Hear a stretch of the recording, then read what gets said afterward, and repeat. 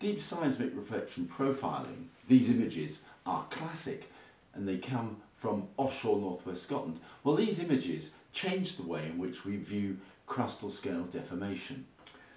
These zones of intense reflectivity that are oblique through the crust are generally interpreted to be shear zones, zones of essentially ductile faulting that have stacked or once stacked up the crust to make mountain belts.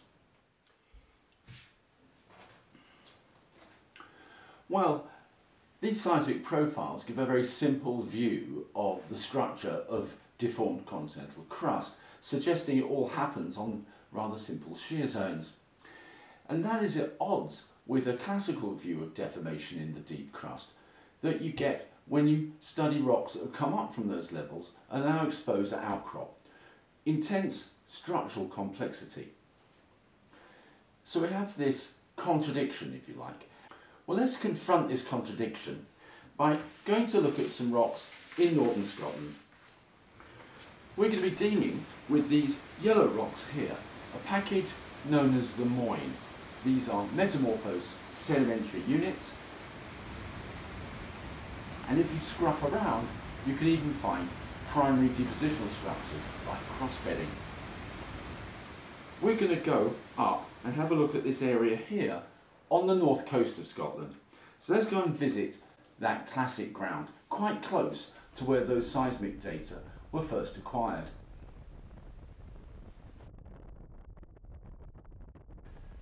The northern part of the county of Sutherland is a landscape of mountains and moorland, bog and shallow lochans. At first sight, not a great place for great structural geology. But the coast holds the prize. Fantastic weather washed outcrops, all very accessible.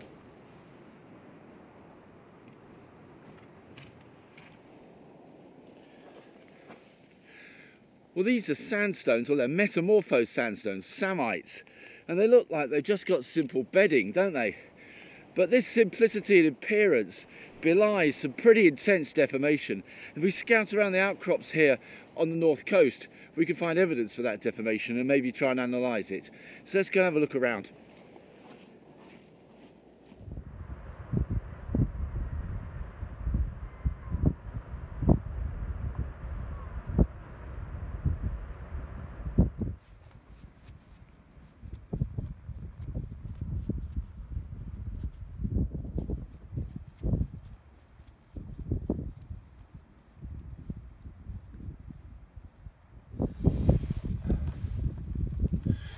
So these are deformed conglomerates.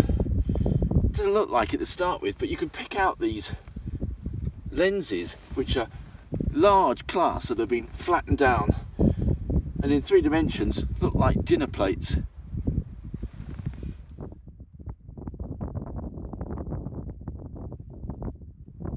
So pretty intense ductile deformation within these metasediments.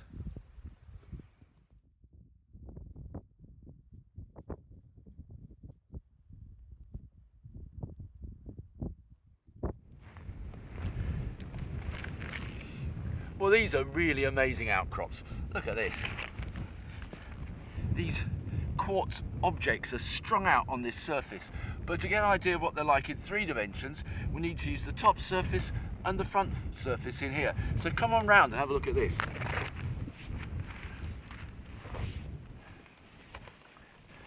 So on this face you can see them strung out, but on the front face they look hardly deformed at all, which means that in three dimensions all these quartz objects are like a pile of pencils. They're rod shapes going down like this. Well, this is an L-tectonite, Alpha linear. The rock is intensely rodded. The strain is said to be constrictional, so the rock has been extruded out in this intense fabric.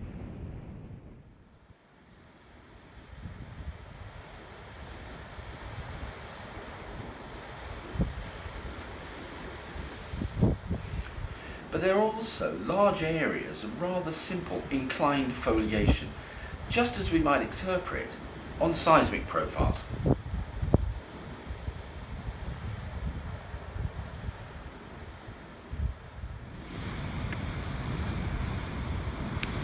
Well, there's some pretty nice foliation here, just coming down the outcrop, and it doesn't look very deformed, does it? It just looks like it's just general sort of, could almost be bedding.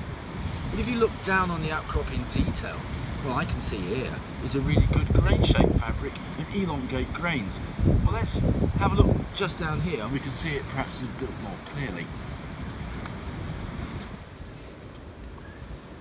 So here's the foliation plane and you can see on it this rather clear fabric running up and down and let's just look really closely. It's defined by elongate grains of quartz and feldspar. So an intense stretching lineation on a foliation. It's an LS tectonite, L for lineation, S for schistosity. They're together to here in the same rock, classic for shear zones. So this all looks rather simple, doesn't it? Pebbles, quartz veins and sand grains all flattened and pulled out and smeared into the shear zone. This is all very expected. Planar fabrics will be smeared rotated down towards parallel with the so-called shear plane, the base of this box. And previously undeformed objects like grains represented by the circle here will be strung out into the shearing direction, creating a stretching lineation.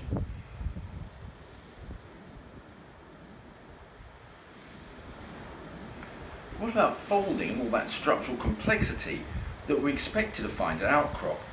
There doesn't look to be much going on here.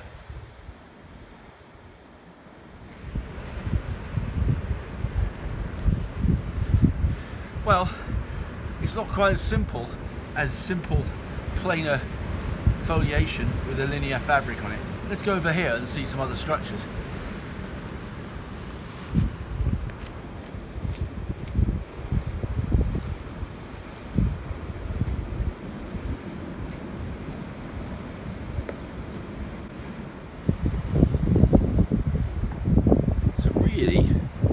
Folding in here. Let's look at these in a bit more detail.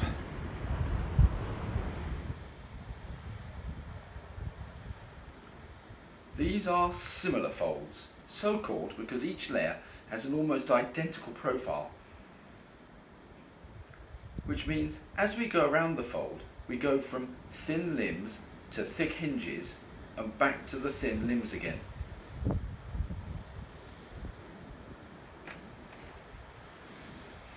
And the limbs are generally parallel to the main foliation. These tight structures have axial traces, generally in this orientation too. Contained within the overall foliation, so they're called intrafolial folds. And the hinge lines are going straight into the outcrop like this.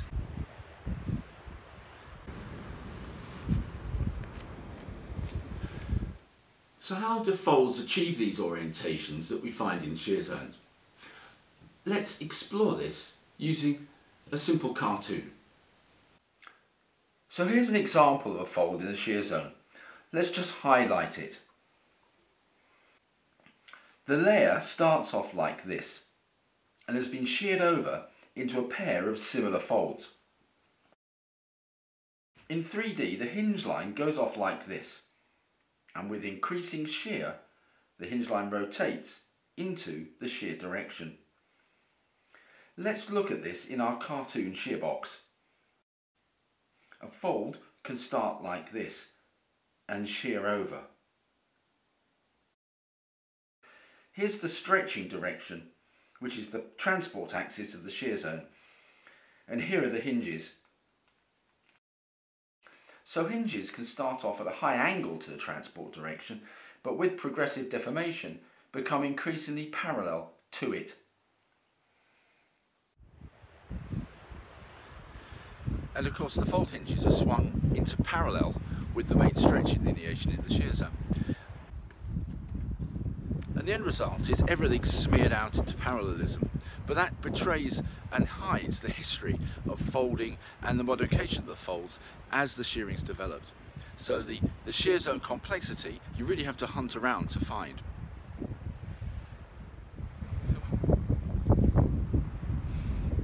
Okay, so let's go look for some other folds. We'll go inland now. There's some really spectacular outcrops up here.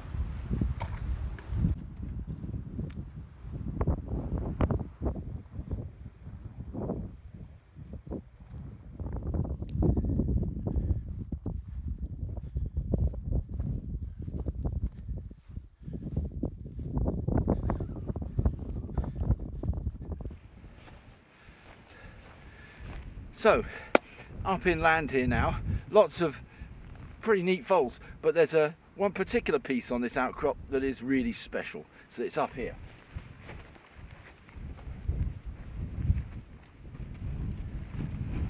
And this is it.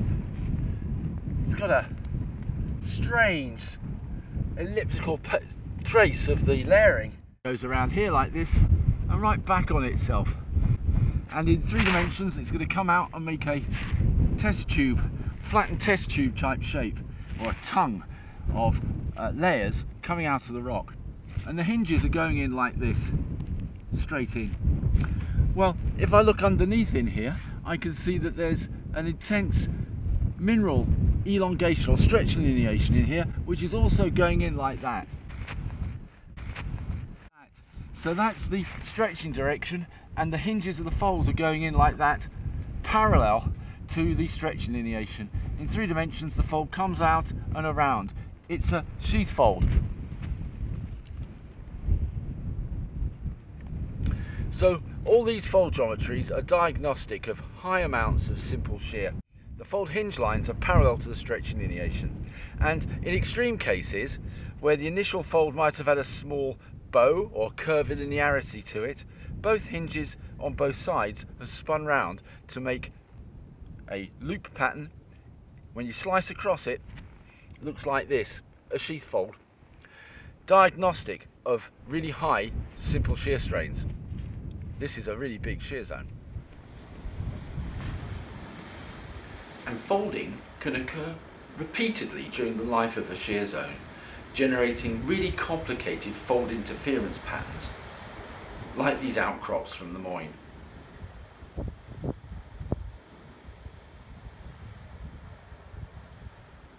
So these localities on the north coast of Sutherland are fantastic for informing how folds work within shear zones, helping us to understand how complexity is developed even in zones of rather large scale simple structure. And the really neat thing is we can sit on the north coast and gaze off over the sea to where the seismic profiles were acquired. Well, perhaps the seismic profiles are great at telling us about the organisation of these simple structures through the crust. But if we want to understand what's going on in the shear zone itself, then we really need outcrops like the ones we've just visited, to tell us what's going on. And we can use the structures in them to find out which direction the shear zones moved, something that's really hard to establish from seismic data. But it's the marriage of both outcrop and seismic that help us understand continental deformation.